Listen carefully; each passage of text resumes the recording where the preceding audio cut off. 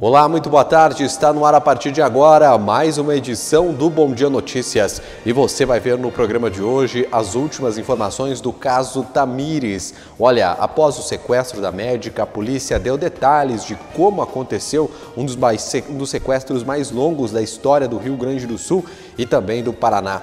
Além disso, você vai ver outras informações aqui da nossa região, como a morte de um agricultor que acabou morrendo após uma colheitadeira cair sobre ele lá em Entre Rios do Sul. E também um caminhão pegou fogo no bairro Atlântico, aqui em Erechim, neste fim de semana. Além disso, duas pessoas ficaram feridas ontem à noite em um acidente grave de trânsito no centro de Barão de Cotegipe. Essas e outras notícias a partir de agora no Bom Dia Notícias que está no ar.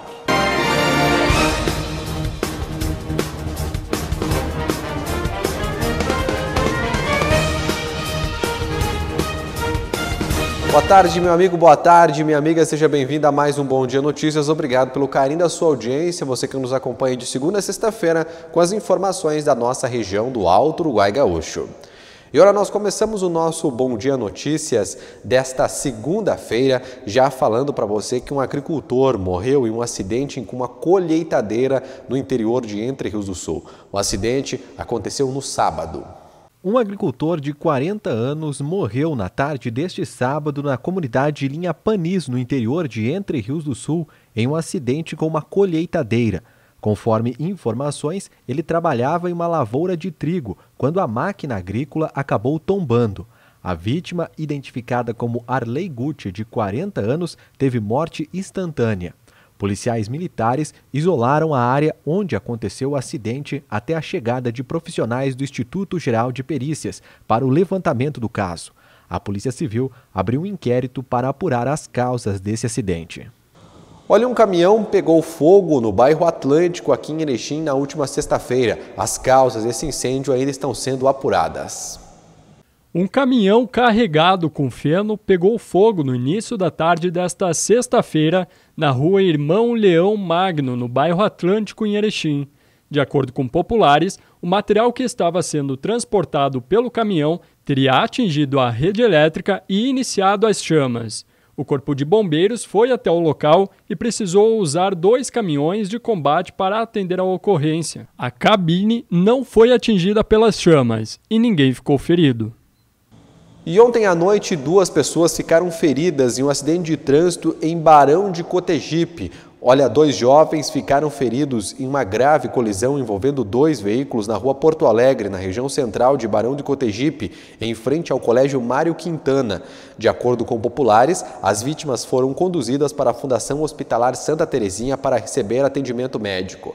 As causas desse acidente não foram divulgadas.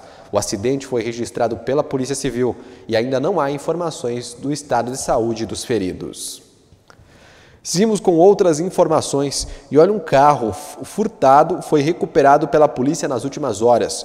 Olha, o veículo modelo Fiat Uno de cor verde foi visto circulando no centro de Erechim na madrugada da última sexta-feira, quando policiais tentaram abordar este automóvel. O condutor aumentou a velocidade e tentou fugir, sendo abordado na rua Pinheiro Machado, onde colidiu em dois carros que estavam estacionados. Após isso, o motorista saiu do carro e fugiu a pé não sendo mais localizado. Os policiais verificaram que esse carro estava em situação de furto. Diante dos fatos, o veículo foi removido e entregue à delegacia de polícia para o registro da ocorrência.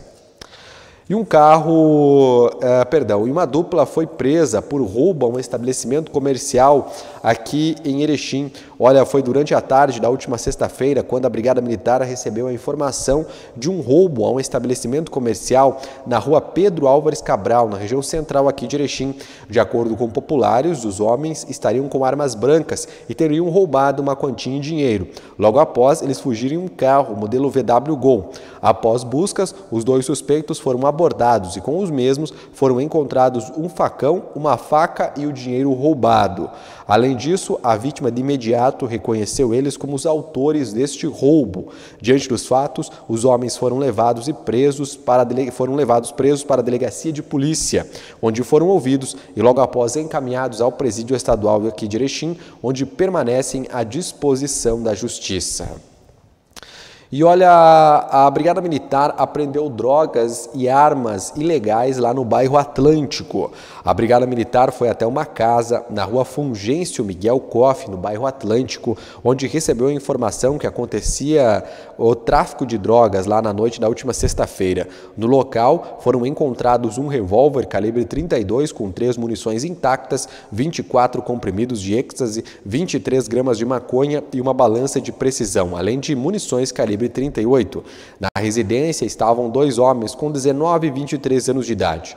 Eles foram presos e encaminhados à delegacia de polícia e, após serem ouvidos, foram levados ao presídio estadual de Erechim, onde irão permanecer à disposição da justiça.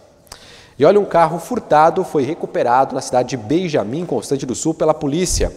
Foi durante a tarde da última sexta-feira, quando os policiais perceberam que dois homens estavam em atitude suspeita e acabaram eh, conduzindo um veículo modelo GM Cadete de cor prata lá no centro de Benjamin, Constante do Sul. Na tentativa de abordar o mesmo, o condutor aumentou a velocidade e tentou fugir, mas foi abordado pela polícia. Dentro do carro estavam dois homens. Em consulta ao sistema informatizado de dados, descobriu descobriu-se que aquele carro era furtado. Os homens foram encaminhados à delegacia de polícia de São Valentim e logo após foram liberados. Eles foram autuados pelo crime de receptação de produto roubado ou furtado. O veículo foi removido e entregue à delegacia de polícia para ser devolvido ao proprietário. Também um homem acabou preso com drogas aqui em Erechim. Foi durante a madrugada do último sábado, quando a Brigada Militar estava em uma atividade de rotina no bairro Progresso, na rua Estevão Gavenda. Lá, um homem acabou correndo ao perceber a presença dos policiais. O mesmo foi abordado pela polícia e, em revista pessoal a ele, foram encontradas sete pedras de crack. Os policiais também descobriram que o homem deveria estar em prisão domiciliar. Diante dos fatos, o suspeito de 34 anos de idade foi preso e encaminhado para a delegacia de polícia e logo após ser ouvido, ele foi liberado. Seguimos com outras informações e olha, uma dupla arremessou drogas e celulares para o presídio, mas acaba, mas acaba presa aqui em Erechim. Olha, foi durante a tarde deste sábado, quando os policiais que trabalhavam no sistema de vídeo monitoramento perceberam um momento em que um homem desceu de um automóvel modelo Fiat Elba na Avenida Mintas Maciel e arremessou objetos em direção ao pátio interno do presídio estadual aqui de Erechim. Após isso, ele fugiu do local. Durante as buscas, os policiais encontraram o carro e o suspeito na Avenida Tiradentes, onde ele foi abordado. De acordo com a polícia, os dois pacotes continham dois aparelhos celulares e um tijolo de maconha pesando 213 gramas. E eles acabaram caindo no telhado da casa prisional. Diante dos fatos, os homens de 29 e 30 anos de idade que estavam no carro foram encaminhados à delegacia de polícia, sendo os mesmos ouvidos e logo após foram levados ao presídio estadual aqui de Erechim, onde irão permanecer à disposição da justiça. Nós também tivemos nas últimas horas uma mulher presa com drogas lá em Getúlio Vargas. Olha, foi durante a madrugada do último domingo quando os policiais perceberam que algumas pessoas estariam em atitude suspeita em frente a uma casa no bairro Monte Claro, lá em Getúlio Vargas. No local foram abordados um homem e duas mulheres. No quarto de uma das abordadas foram encontradas aí 17 pedras de crack e 5 cigarros de maconha, além de uma pedra não fracionada de crack pesando 7 gramas e 20 reais em dinheiro. Diante dos fatos, fatos, a mulher de 18 anos de idade foi presa. Ela foi encaminhada à delegacia de polícia, onde foi ouvida e liberada. Nós também tivemos uma prisão por drogas de um homem lá em Barão de Cotegipe. Olha, esse fato aconteceu após a Brigada Militar receber que dois homens estariam em atitude suspeita em frente a uma casa que fica na rua Santo Onofre, no bairro Nossa Senhora Aparecida, em Barão de Cotegipe, na madrugada do último domingo. Segundo a polícia, um dos abordados havia comprado naquele momento duas pedras de crack de outro homem. Dentro da casa foram encontradas 33 pedras de crack, 23 buchas, de cocaína, uma porção de maconha pesando 38 gramas, 990 reais em dinheiro. Diante dos fatos, o homem de 21 anos de idade foi preso. Ele foi encaminhado à delegacia de polícia, onde foi ouvido, e logo após levado ao presídio estadual de Erechim, onde permanece à disposição da justiça. O usuário que foi abordado, após ser ouvido, acabou sendo liberado pela polícia. E olha, nas últimas horas nós também tivemos aí um foragido da justiça preso lá em Trindade do Sul. De acordo com a Brigada Militar, diversas pessoas foram abordadas na noite do último domingo no centro de Trindade do Sul, sendo que um dos abordados possuía um mandato de prisão. Diante dos fatos, o homem de 30 anos de idade foi preso. Ele foi encaminhado à delegacia de polícia, onde foi ouvido e logo após levado ao presídio estadual de Sarandi, onde permanece à disposição da justiça. Muito bem, meu amigo, muito bem, minha amiga. Daqui a pouquinho as informações do caso Tamires. Você vai ver que o taxista preso no caso foi inocentado pela polícia. Ele gravou um vídeo falando que até mesmo a sua família foi ameaçada. Também você vai ver os detalhes de como aconteceu esse sequestro daqui a pouquinho, aqui no Bom Dia. Mas agora tem um recado importante para você que está nos acompanhando, você que está pensando em comprar, vender ou alugar um imóvel. A Solar Imóveis é um imobiliário de confiança e qualidade e tem sempre as melhores opções para você que quer uma casa maior, um apartamento com mais espaço ou está procurando o local ideal para colocar a sua loja, o seu escritório e, por que não, a sua indústria. Todas essas opções você encontra lá na Solar Imóveis. Visite agora mesmo a Solar Imóveis no centro aqui Erechim, pertinho da Caixa Econômica da Sete ou então acesse o site solarimóveis-rs.com.br. Já no site da Solar você vai poder ver todas as fotos dos imóveis, condições de pagamento e a documentação necessária. Tudo o que você precisa saber na hora de comprar, vender ou alugar um imóvel. Por isso, não perca tempo. Compra, venda e locação de imóveis é na Solar Imóveis. Intervalo e daqui a pouco a gente mostra mais o caso Tamires e você vai ver também no esporte. O Ipiranga venceu o Boa Esporte jogando aqui em Erechim no fim de semana. Os gols do Canarinho é na sequência, não saia daí. Quando o seu dinheiro circula na economia local, ajuda a desenvolver toda a sua região. Participe desse movimento você também. Vamos juntos contribuir com quem é daqui. Bom dia nas eleições 2020. Debate ao vivo com os candidatos à prefeitura de Marcelino Ramos, Vanei Mafissoni, Ademir Antoninho Momo, discutindo ideias e propostas para ajudar a você a tirar as suas dúvidas na hora de definir o seu voto. Nesta segunda-feira, 26 de outubro, a partir das 8 da noite, debates e diálogos democráticos. Ao vivo no Facebook, no canal do YouTube e no site do Bom Dia. Debate ao vivo, eleições 2020. Antes, a vida era assim. Depois, ficou assim. Agora continuamos nos cuidando e nos protegendo. Continue valorizando a vida. A distância salva no trânsito também. Coloque-se no lugar do outro. Cuide dos ciclistas. Cuide dos pedestres. Cuide de você. Eu me coloco no teu lugar. Detran, Governo do Estado do Rio Grande do Sul novas façanhas. Internet para jogos, Creral Telecom. Para redes sociais, Creral Telecom. Para estudar, Creral Telecom. Para trabalhar, Creral Telecom. Para se divertir, Creral Telecom. Para os negócios, Creral Telecom. Para a família, Creral Telecom. A internet para o que você precisar. Creral Telecom. Lojas em Erechim, Getúlio Vargas, Sananduva e também agentes autorizados em toda a região. Bom dia nas eleições 2020. Debate ao vivo com os candidatos à Prefeitura de Mariano Moro. Irineu Fantin. Ivan Marcos Devence, discutindo ideias e propostas para ajudar a você a tirar as suas dúvidas na hora de definir o seu voto. Nessa terça-feira, 27 de outubro, a partir das 8 da noite, debates e diálogos democráticos. Ao vivo no Facebook, no canal do YouTube e no site do Bom Dia. Debate ao vivo, eleições 2020. Nesse minuto, ele está pensando no primeiro carro. Ela pensa em trocar.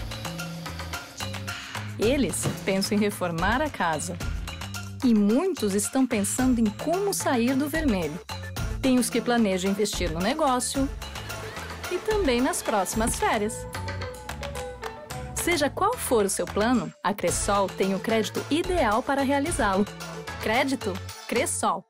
O Master traz até você a nova loja de compras virtual, loja.mastersupermercados.com.br. Num clique, sua compra está em casa. Acesse loja.mastersupermercados.com.br. Selecione os produtos de seu interesse, cadastre-se e faça o pagamento com os cartões e receba suas compras em casa. É fácil, prático e seguro. Loja virtual Master Supermercados. Num clique, sua compra está em casa. Master Supermercados. Tá no Master, tá em casa.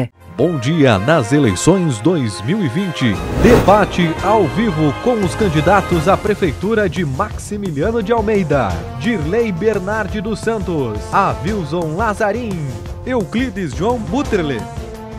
Discutindo ideias e propostas para ajudar a você a tirar as suas dúvidas na hora de definir o seu voto. Nessa quarta-feira, 28 de outubro, a partir das 8 da noite ciclo de debates e diálogos democráticos. Ao vivo no Facebook, no canal do YouTube e no site do Bom Dia.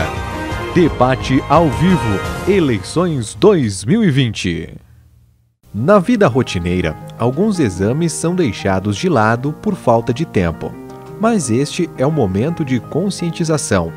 A campanha do Outubro Rosa foi instituída para alertar a todas as mulheres sobre a importância da prevenção e do diagnóstico precoce do câncer de mama. É necessário um tempo também para cuidar da sua saúde e incentivar mais mulheres a fazerem o mesmo.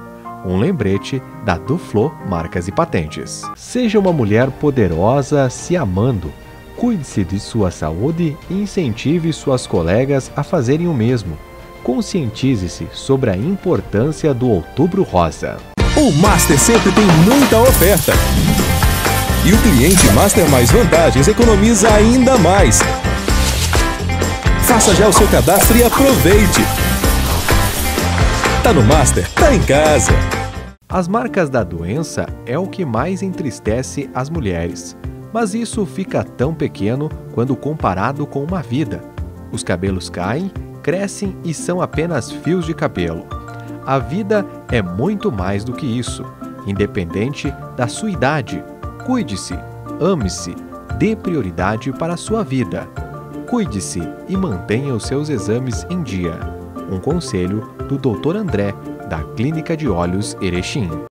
Você tem um plano para os próximos 365 dias? A Unimed tem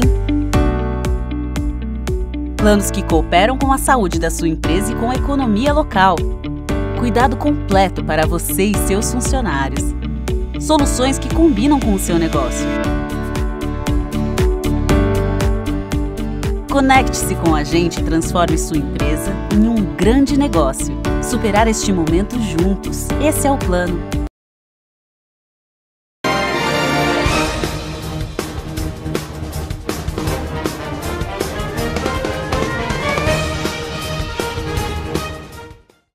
Estamos de volta com o nosso Bom Dia Notícias. Obrigado pela sua audiência, você que nos acompanha de segunda a sexta-feira com as informações da nossa região. E a gente já começa falando do caso Tamires. Olha, a polícia deu detalhes do sequestro da médica Tamires Gemelli da Silva e também falou sobre os dois envolvidos aí neste caso que seguem presos. Na verdade, quatro pessoas foram presas, é, mas duas já foram liberadas e, segundo a polícia, elas não têm participação no crime, mas o caso está sendo investigado ainda. Veja os detalhes de como aconteceu este sequestro.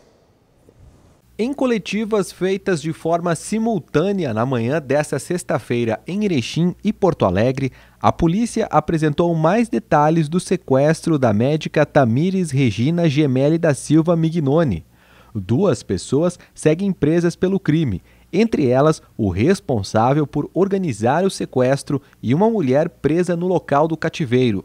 Segundo a polícia, a esposa do vigia e um taxista, que também foram presos, não teriam envolvimento com o crime e, por isso, tiveram as suas prisões relaxadas.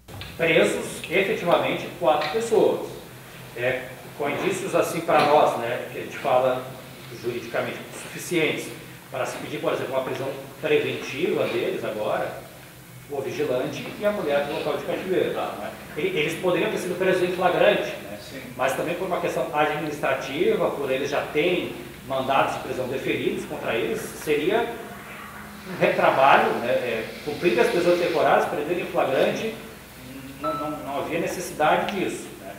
E isso não implica na desconsideração das condutas que eles praticaram, pelo contrário. É, então, quatro presos, dois muito provavelmente sendo colocados em liberdade já na manhã de hoje. Conforme a investigação, o homem que planejou o ataque e a mulher presa no cativeiro realizaram todo o sequestro e chegaram a vir para Erechim alguns dias antes para acompanhar o dia a dia da vítima.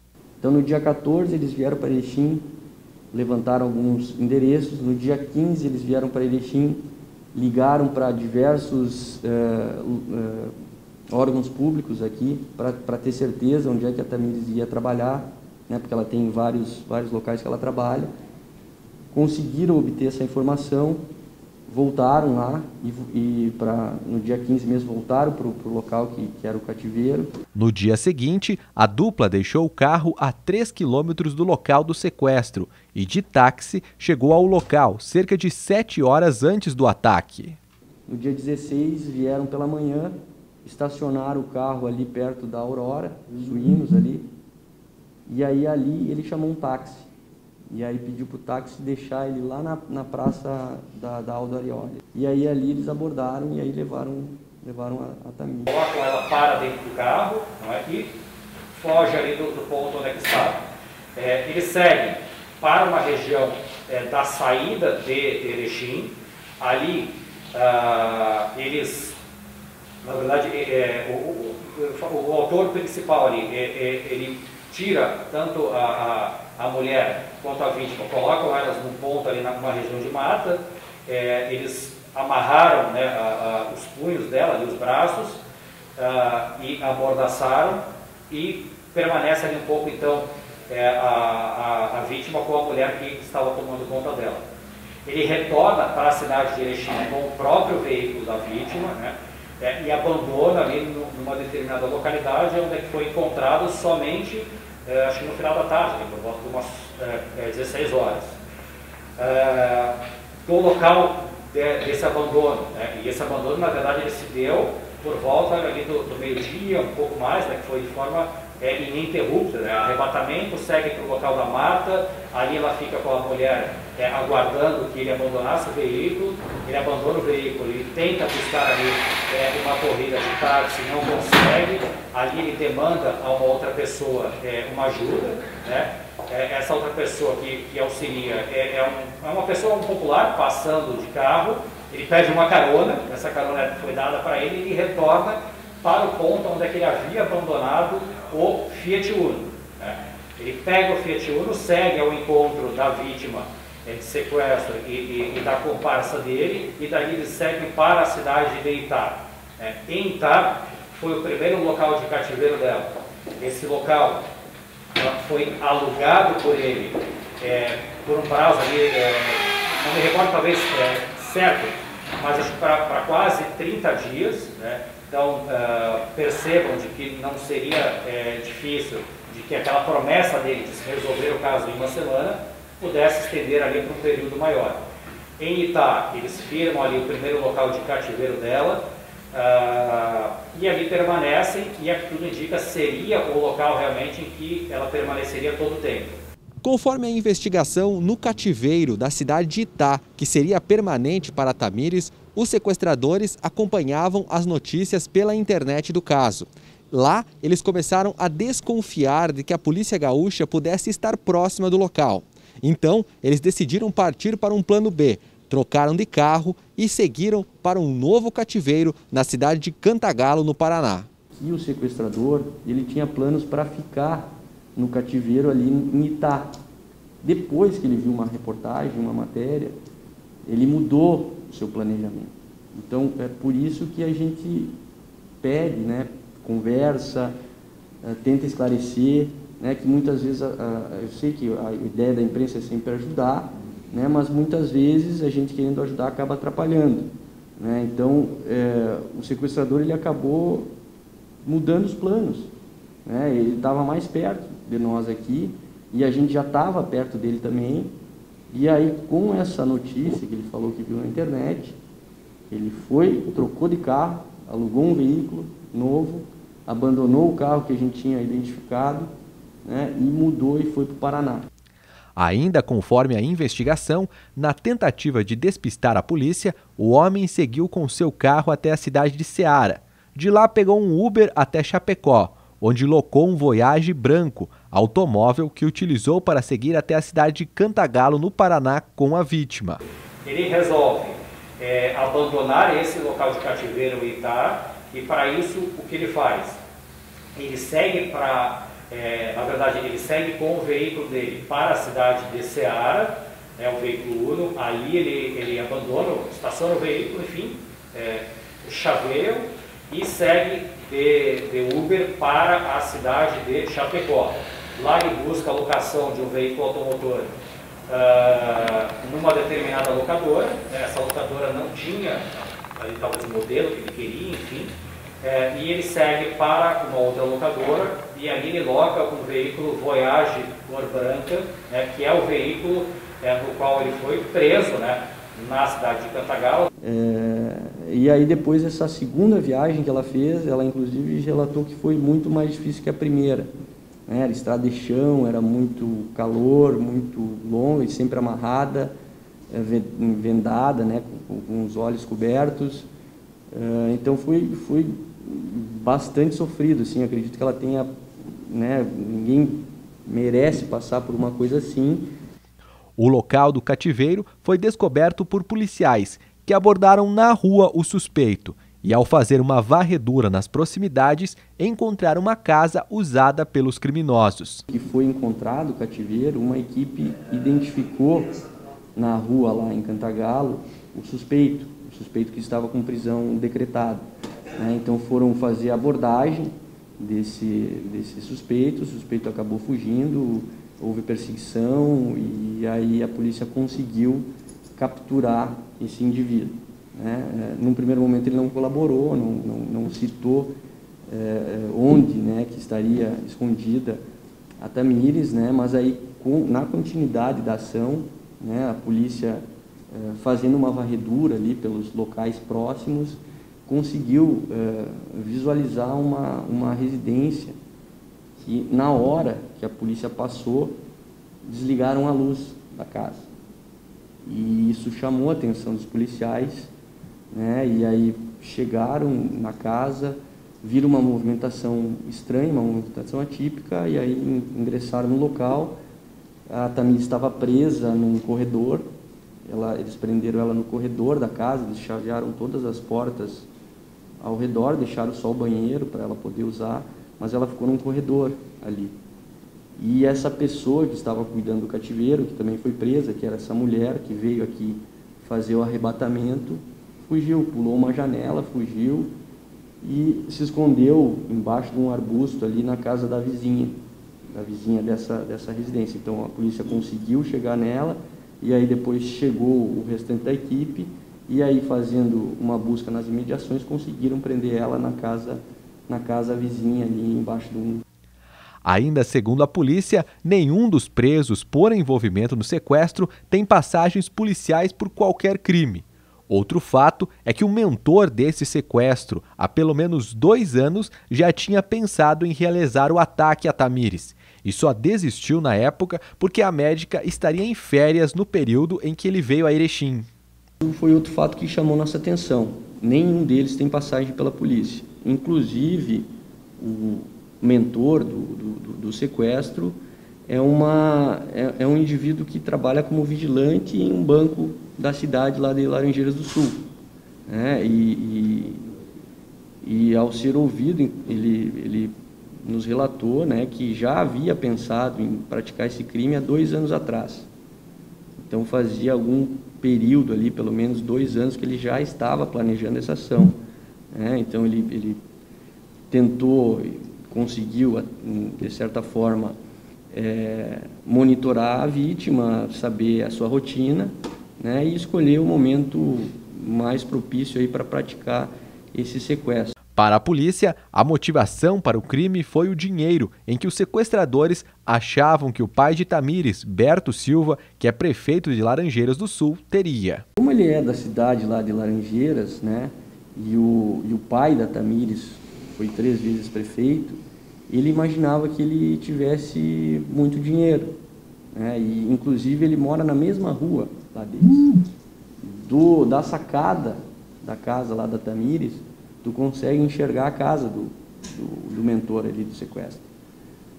Então ele imaginava que, ah, por ele ser político, por, por já ter passado diversas vezes ali Olha, e o taxista que foi liberado, aí foi uma das duas pessoas liberadas, acabou gravando um vídeo que está sendo circulando na internet falando aí sobre sua inocência neste caso. O segundo taxista, ele apenas fez corridas aí para a mulher que cuidava do cativeiro, mas ele não sabia que realmente aquelas pessoas estavam fazendo o sequestro da jovem Tamires.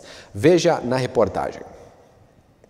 O taxista da cidade de Cantagalo, Willy, conhecido como o vilão do táxi, gravou um vídeo para o portal Cantu do Paraná falando sobre sua prisão como suspeito no caso do sequestro da médica Tamires Regina Gemelli da Silva Mignoni, filha do prefeito Berto Silva de Laranjeiras do Sul, que aconteceu no dia 16 de outubro em Erechim. Após ser detido, o taxista chegou a ser trazido para Erechim, mas logo após teve sua prisão relaxada pela justiça e foi solto. É, eles acabaram sendo presos por uma demanda é, estratégica da investigação e é, vão ser colocados em liberdade e não devem ser tratados pelos meios de comunicação, pelas pessoas que nos assistem como, como participantes desse sequestro. Conforme as investigações, o taxista apenas fez corridas para a mulher que cuidava do cativeiro, sendo concluído que ele não tinha relação e nenhum conhecimento sobre o sequestro de Tamires. No vídeo, o taxista fala sobre sua inocência no caso e apresenta o seu alvará de soltura. Ele ainda disse que durante sua prisão, sua família chegou a ser ameaçada.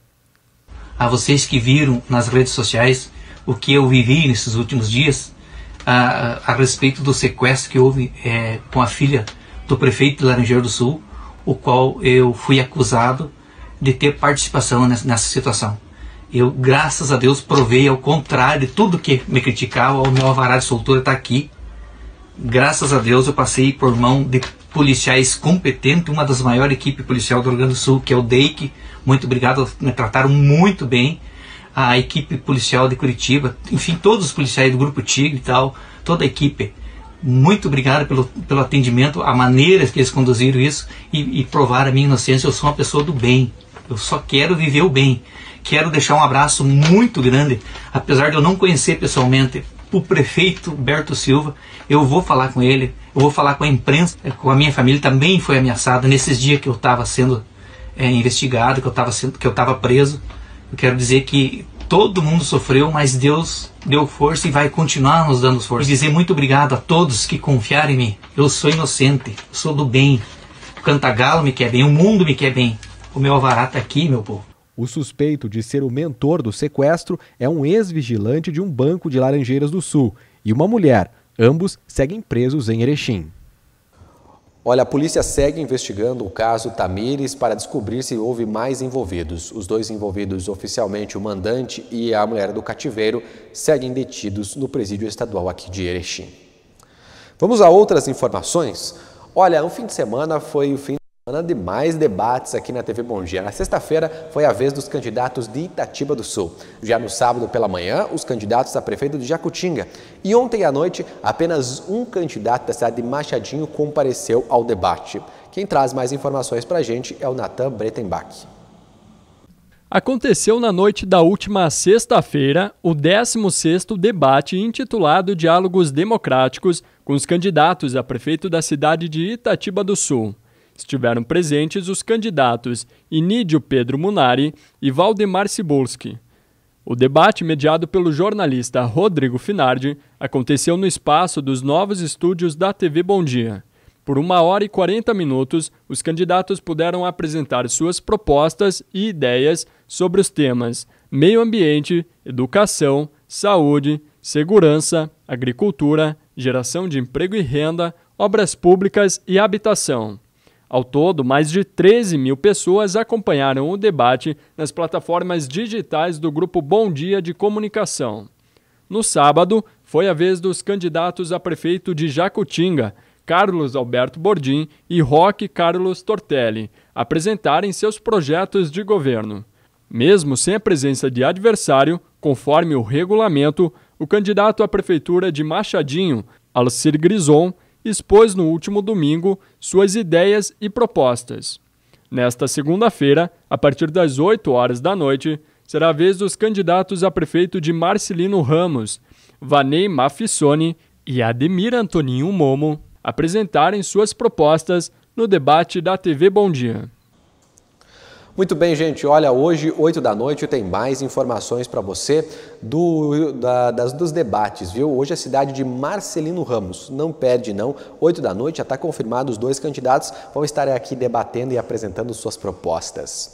Seguimos com outras informações. Olha, as universidades federais têm o melhor resultado no ENAD. Veja. As áreas são avaliadas a cada três anos.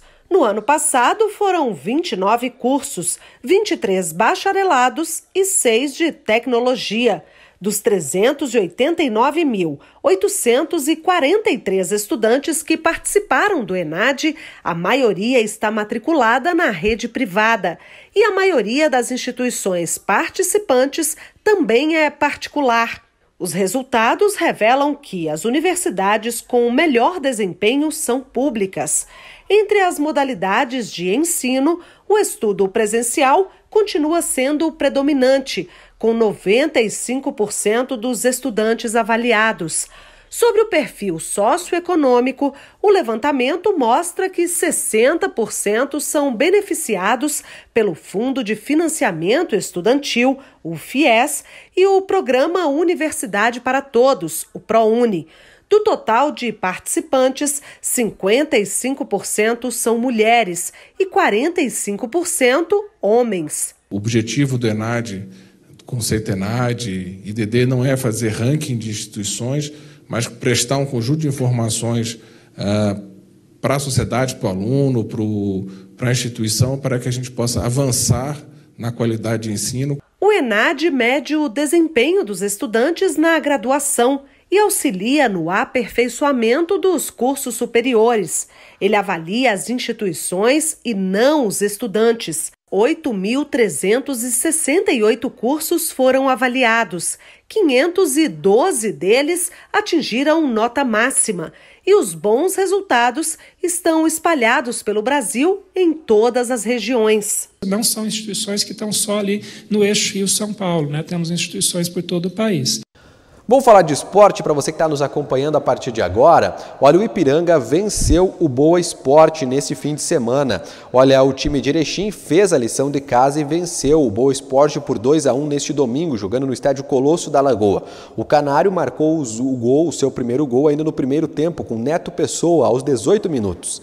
Ainda no primeiro tempo, aos 29, Caprini recebeu uma bola na lateral na área e fez o levantamento. Clayton, praticamente na marca do pênalti, sobe e, sobe e coloca de cabeça para dentro do gol. 2 a 0 Ipiranga.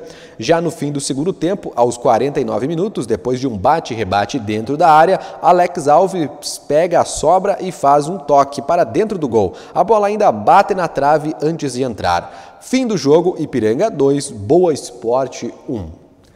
No fim de semana também teve jogo da dupla Grenal. Olha, o Internacional acabou empatando ontem com. acabou empatando. Já o Grêmio venceu o jogo com um time cheio de reservas. O Renato Portaluppi e o Eduardo Cudê falaram sobre esses jogos e a gente mostra para você a partir de agora.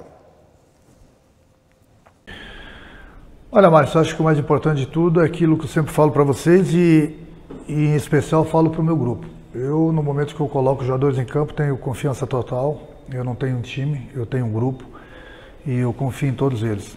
Foi mais uma demonstração hoje. É, reagimos numa partida é, difícil para a gente, saímos atrás, mesmo assim conseguimos a, a, virada, praticamente com uma equipe totalmente diferente. Essa é a força do, do nosso grupo, não adianta. A cada três dias não tem como você colocar a mesma equipe em campo porque daí você vai começar a perder vários jogadores, jogadores importantes para jogos também importantes. Então, se nós temos um grupo bom, um grupo grande, é importante a gente fazer essa rodagem, botar todo mundo para jogar, até porque se eles estão no grupo do Grêmio é porque eles têm condições. Eh, que a, manera de espectáculo sí ha sido un gran juego. Eh, creo que nosotros hicimos un, gran primer tiempo.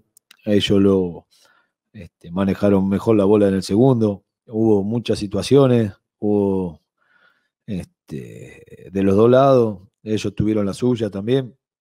Eh, creo que contra un rival de esta jerarquía en, en las que estuvimos, sobre todo en el segundo tiempo, después eh, necesitas este, eh, concretarlas porque si no eh, es un rival que tiene mucho juego, mucha variante, mucha jerarquía. La verdad tiene un equipazo Flamengo. Y, nosotros hicimos un gran juego y la estrategia así como, como a veces falamos, ¿no? De, eh, después tenemos que ir cambiando a medida que va que va pasando el juego y las cosas que van aconteciendo y, ahí va cambiando la estrategia, eh, sobre todo porque siempre repetimos lo mismo, no, tenemos la suerte de, tener eh, jugadores de la misma característica de lo que inician, así que va, va a acontecer siempre esto, ¿no? Va, va, a cambiar este, la manera de jugar de un inicio a, medida que va creciendo eh, o, va, o que va que vai passando o jogo, né?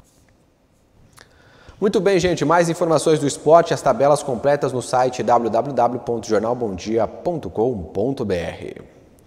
Agora vamos aos destaques do Bom Dia Impresso e Digital desta, desse fim de semana. Quem conta melhor para a gente é o Natan Bretenbach. Vamos agora saber quais são os destaques do jornal impresso e digital do Bom Dia, edição deste fim de semana, que já traz na capa a médica que ficou presa em corredor e mentor que já pensava no crime dois anos antes. Na coluna do Rodrigo Finardi, ele fala do plano de governo da coligação Erechim acima de tudo. Tem a agenda dos debates municipais, na página 4, colunistas de opinião, e na 5, saúde bucal, métodos em constante evolução que possibilitam conforto e também bem-estar. Na página 6, o fato da foto, e na 7, diálogos democráticos com os candidatos a prefeito de Itatiba do Sul, Valdemar e Nídio, que trocam alfinetadas, trocaram alfinetadas durante todo o debate. Na página 8, a coluna do Igor Miller, ele fala sobre o caos e a cortina de fumaça. E na 9, evitar desperdício, colaborar com a eficiência dos investimentos e dos serviços prestados à população. Está falando aí do plano de transparência e controle social. Na página 10, reportagem do Leandro Zanotto, o LBN Metalúrgica entrega nova estrutura para a ervateira cristalina aqui em Erechim. Na página 11, Espaço Pop. E na 12, Quando não há idade para realizar um sonho. Parabéns aí a Tassiane Câmara. Tassiana Câmara. Na página é, 13 está falando do caderno BD Saúde sobre os problemas mais comuns aí na saúde dos idosos. Tem mais informações, mitos e verdades sobre a reabilitação pós-AVC. E você também confere aí é, na página 6 do Caderno de Saúde, dor do ciático. Tem outras informações também na página 8, Saúde do Coração. E na 13 do jornal Impressa do Bom Dia, instituições federais recebem notas positivas no ENAD. Na página 14, região de Erechim permanece na bandeira laranja no mapa do distanciamento controlado, definido aqui pelo governo do estado. Tem os classificados do Bom Dia, o caderno de variedades e no caderno PET, cachorro vomitando espuma branca, o que pode ser? Saiba aí então as dicas para o seu pet. Na página 21, como reformar a casa sem quebras-quebras. E na página 22, sequestro, médica ficou presa em corredor e mentor já pensava no crime dois anos antes. Na página 23, está falando aí sobre o jogo do Ipiranga. Na página 24, chegou a hora de erechinenses desafiarem-se no Transcatarina. Essas e outras informações você pode conferir também no site do Jornal Bom Dia, www.jornalbomdia.com.br.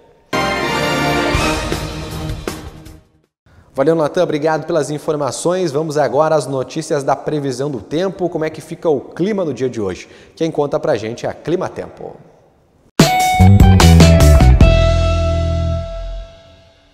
Uma nova frente fria vai avançar sobre alto mar na altura da costa do Rio Grande do Sul e favorecer o aumento da instabilidade sobre o sul do país. Tem risco de temporais em todo o Rio Grande do Sul, no oeste do Paraná e de Santa Catarina. A previsão para o oeste do Paraná, de Santa Catarina e noroeste gaúcho é de céu encoberto, chuva frequente e volumosa. Entre o leste gaúcho e o leste do Paraná, o sol vai predominar pela manhã e chove em forma de pancadas entre a tarde e a noite. Na região de Porto Alegre, as pancadas já vão começar pela manhã, intercaladas com boas aberturas de sol. Já nos demais locais da região, incluindo Florianópolis, a previsão é de chuva a qualquer hora do dia, muita nebulosidade e poucos períodos de sol. A mínima prevista em Porto Alegre é de 18, a máxima é de 27 graus, mínima de 17 e máxima de 23 graus em Curitiba.